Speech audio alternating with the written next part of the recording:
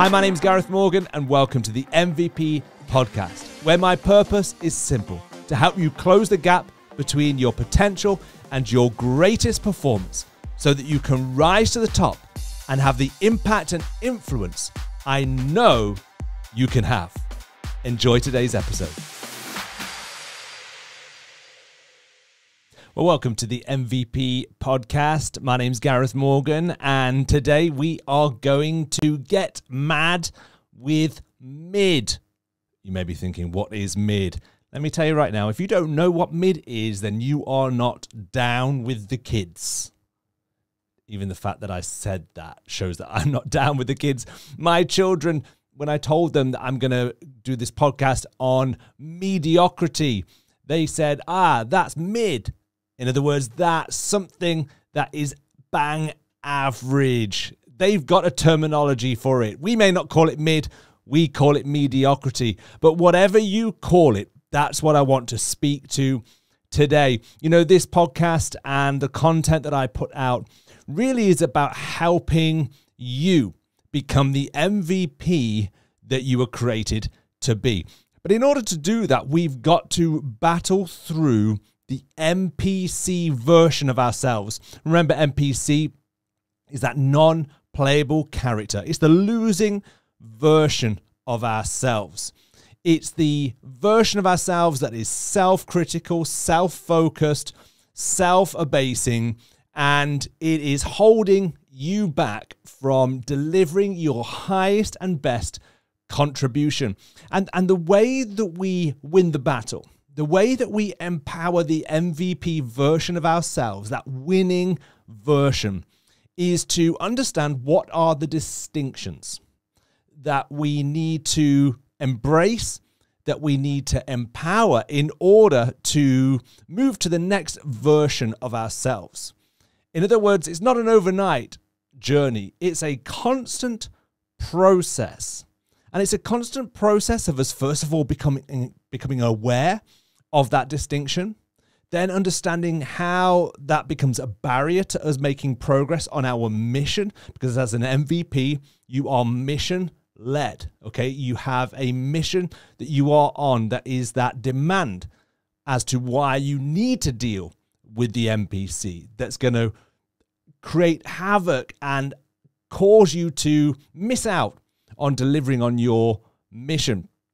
And then to make the changes I mean, it's all very well becoming aware and then understanding the barrier that that distinction creates, but we've got to then make a change. In other words, we've got to identify a tactic that we're going to deploy that's going to bring about a change of behavior. So, in this podcast, I'm going to give us five ways and five reasons that we need to get mad with mid. Why we've got to declare all out war on mediocrity. So, are you ready? Number one, mediocrity is an impediment that hijacks your message. If you have a mission, which you should have, then that mission is about delivering a message. It's a message that you represent, that you need to deliver to the world. But ultimately, whilst we hear messages with our ears, the truth is messages that remain with us, messages that truly impact us, are the messages that we feel. The problem with mediocrity is you can hear a great message, but ultimately, what you feel is at odds with that message.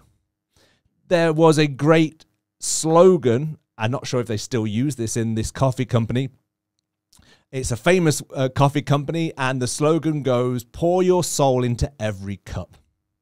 Great slogan. In other words, getting all those that are working for this company focusing on every single cup because ultimately that business is built upon those transactions. Every single cup matters and pour your soul into it. In other words, they realize that the level of excellence that you deliver, which of course, excellence is the antithesis of mediocrity, when you pour your soul into something, the, the idea is that you are understanding how important it is.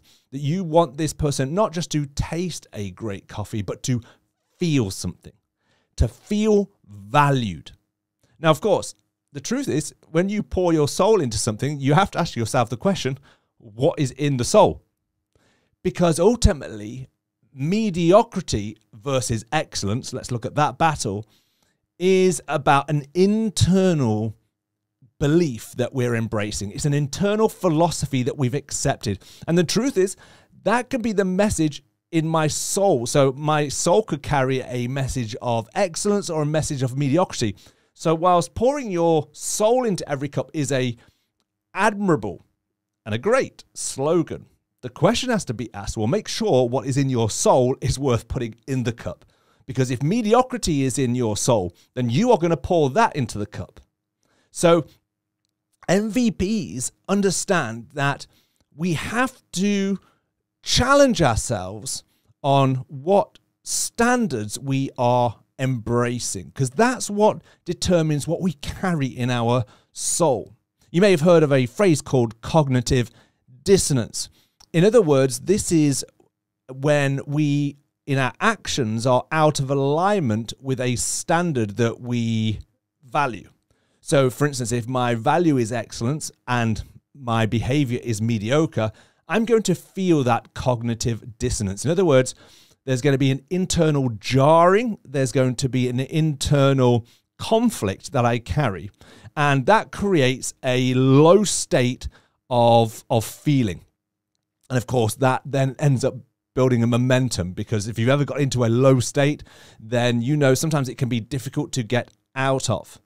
And so MVPs recognize that I have to be bothered about this value of excellence. I have to identify where I am falling short of my own standards and I need to challenge myself. I can't settle for the fact that I have embraced mediocrity. I need to get angry. That's why I said we need to get mad with mid because we can all fall into a mediocre state of mind and therefore deliver mediocre performance. But we've got to get mad with that because that's what an MVP does. An MVP does fail, they're not perfect. So that's good news. But the distance between when we fall short of our standards and then when we do something about it gets shorter and shorter because we have this desire to get back up and to challenge that standard, to raise the bar, not to settle, but to set a new standard. And of course, mediocrity can often become uh, in an environment it can become the the pervading value and the challenge with that is then what you get is you start to get corporate dissonance. If you've got any people around you that have that value of excellence, you start to get a group of people who who who are like, this is not good enough.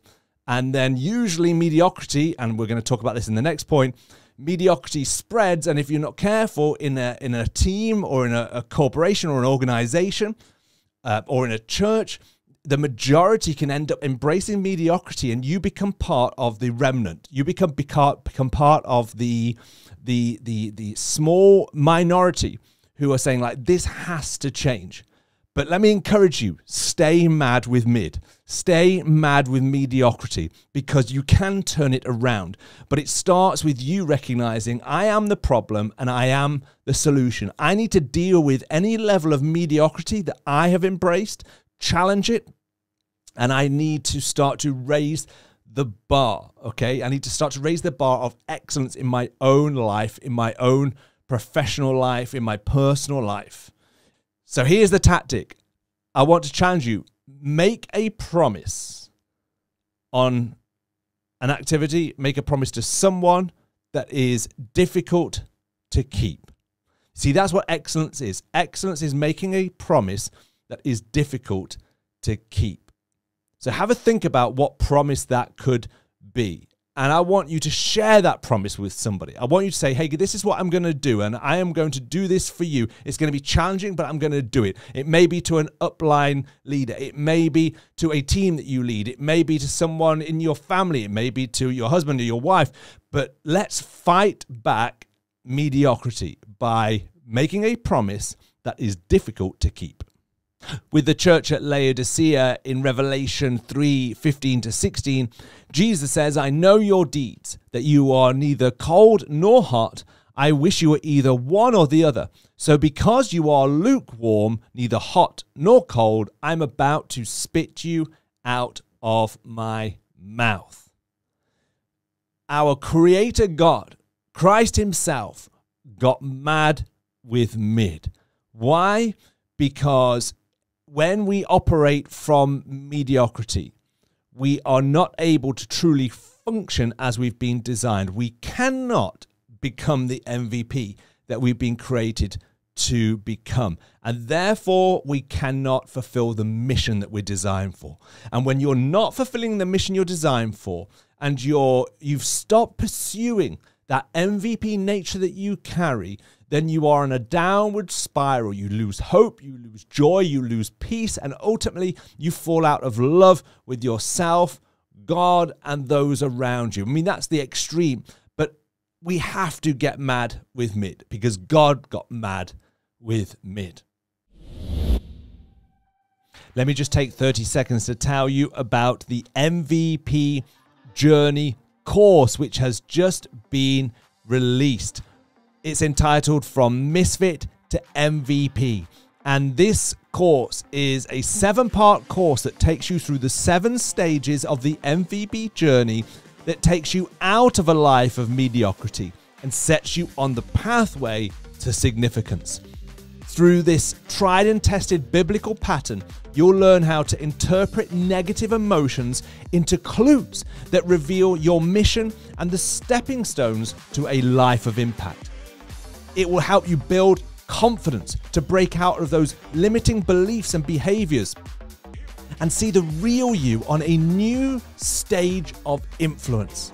And finally, you will learn the habits that help you defeat the excuses and overcome barriers to deliver consistent results that leads to an abundant of increase in your career, your finances, your relationships, your health, and your spiritual life. Go check out the MVP online course today. Number two, mediocrity is contagious. Mediocrity is the silent killer. And it's a silent killer because we don't see in a short space of time the true cost of living a mediocre existence or allowing mediocre behavior mediocrity compounded over time has catastrophic impact on your mission and on your ability to deliver on your potential.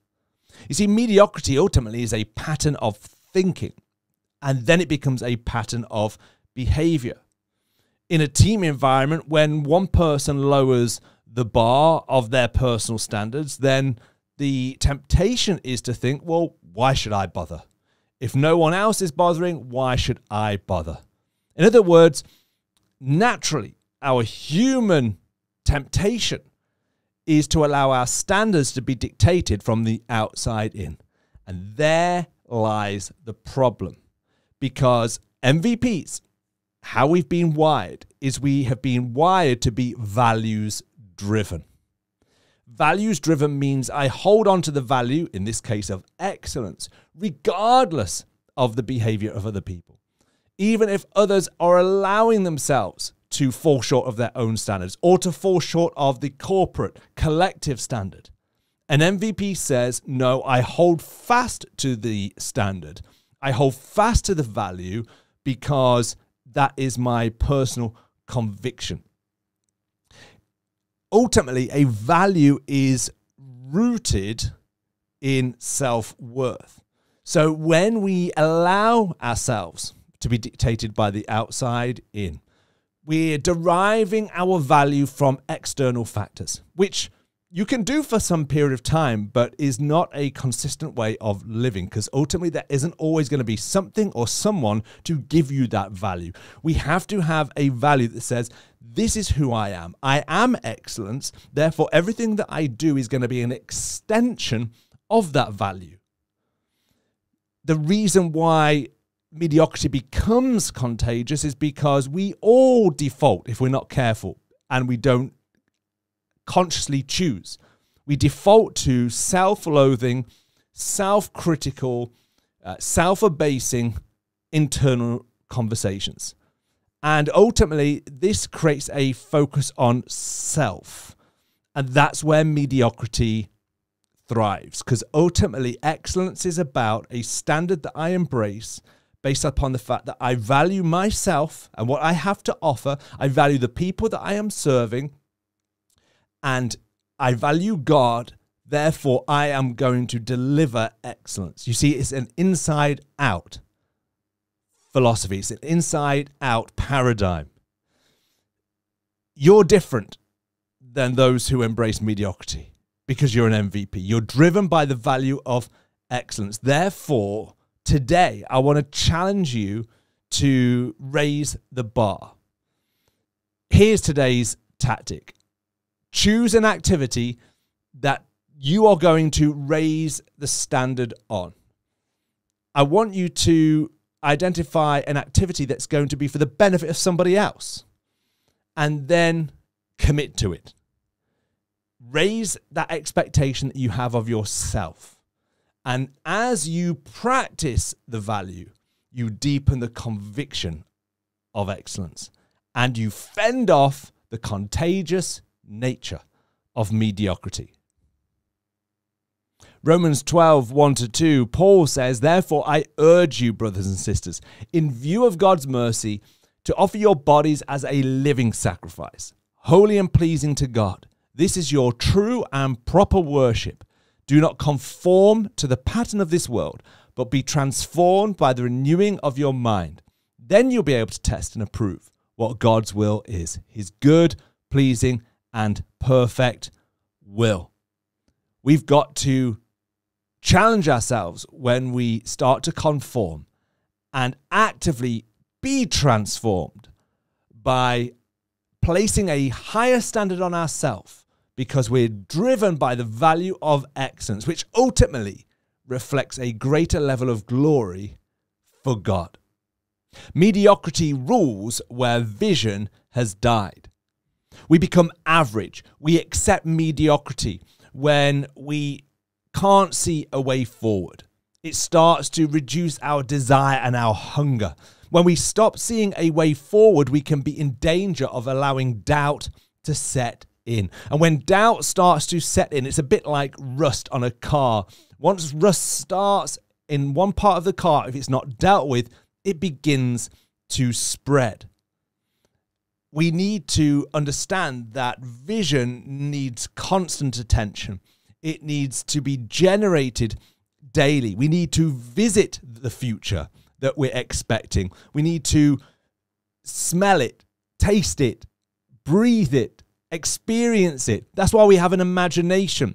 Because what happens then, we start then to have a, a different lens through which we see our day we have a winning conversation which starts to ignite faith and certainty. And we start to see opportunity and we start to see ways past problems.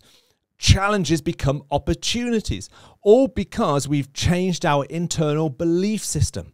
When we when we pump prime vision, mediocrity is is challenged. It begins to to to die. It begins to shrink.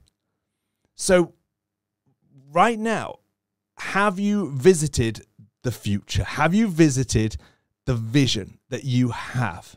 If so, that's one way that you can start to get mad with mid. One tactic we can use to generate vision and to unlock the power of vision is to spend 10 minutes today answering the question what boundary does my future vision demand that I strengthen today?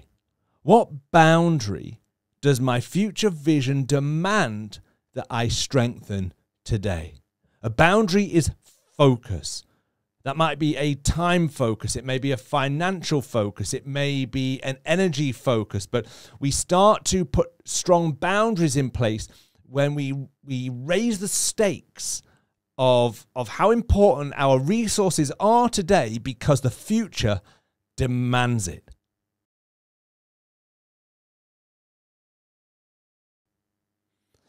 Proverbs 29, verse 18 says, Where there is no revelation, people cast off restraint.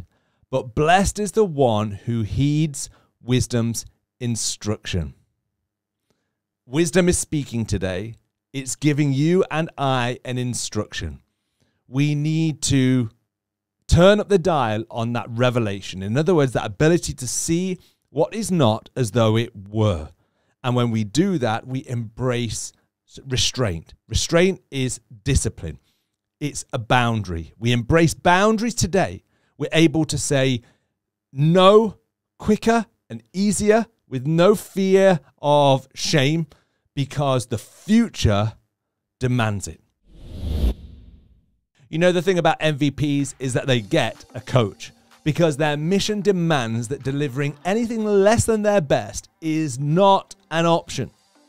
Do you have the desire to reach the highest level of your industry? Do you want to be a voice of influence that can deliver positive change and leave a significant legacy? A legacy of leadership. I set out to work with people aspiring to be world class at what they do.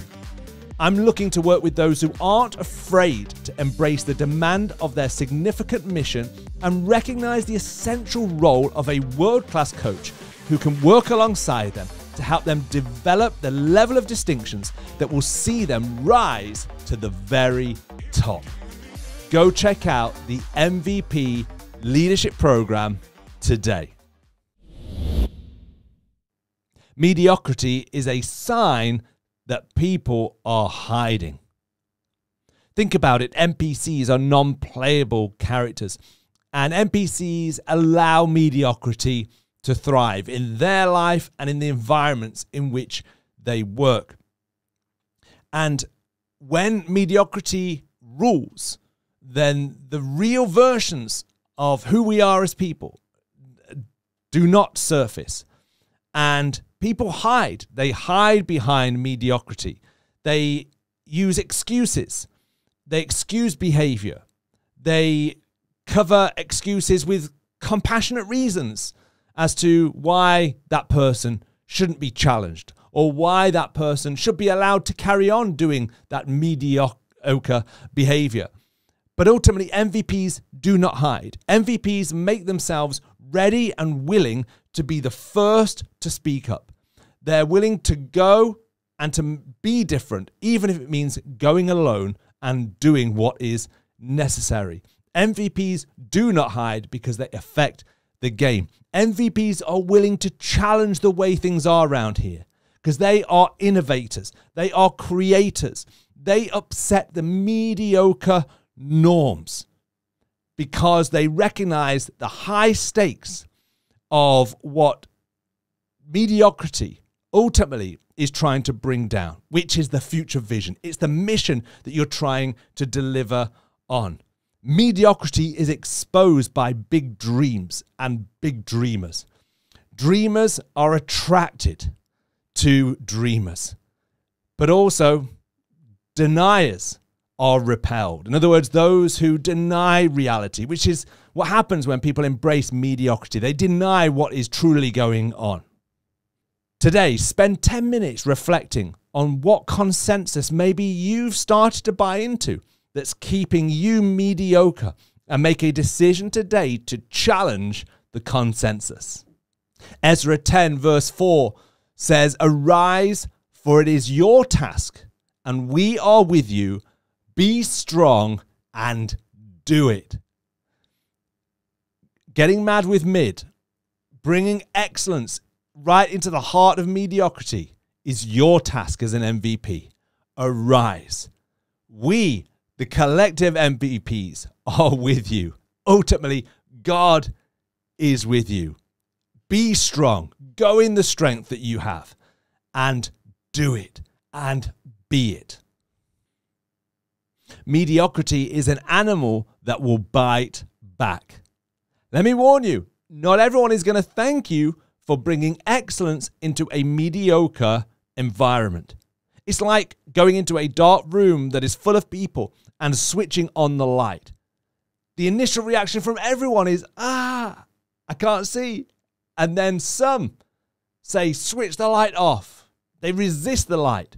Others begin to adapt and recognize the benefits of the light. Either which way, be wary that you're going to get a reaction. Why is it that some people want you to hit the switch and to turn off the light? Because excellence reveals what mediocrity has got up to. Where mediocrity exists, there is wastefulness. Where mediocrity exists, there is virtual progress where people have presented progress, but really all it is is a virtual progress with no real substance. It's like a vapor, it doesn't really exist. Ultimately, people who embrace mediocrity want to remain in that wasteful place where they over deploy resources in the wrong places. They expend energy on activity that isn't truly moving the needle and isn't making a difference. But you're different. You're an MVP and you're willing to deal with the reaction of turning the light on because the mission demands that you see things for how they really are. Brutal honesty is the only way to make the necessary changes to bring significant progress. Tactic that we can deploy is asking ourselves the question, because it all starts with ourselves Am I wasteful with my time? Time is our most precious resource, and where there is wastefulness, there's mediocrity. So, how can I raise the bar of personal excellence when it comes to how I use my spare time? Any time that I'm currently wasting. 2 Corinthians 5, verse 17 says, Therefore, if anyone is in Christ, he is a new creation. The old has passed away. Behold, the new has come. There is a battle between the new creation and the old version. When Christ comes in, he is the light. The light shines in the dark places and spaces. Initially, there's a challenge because it means we have to admit that we've been wrong. We've adopted the wrong thinking, wrong beliefs. But ultimately, when we see the vision of who we really are and what we've been called to in terms of our purpose, then we we start to embrace the light because it enables us to be brutally honest with now what needs to change and through Christ we can make those changes.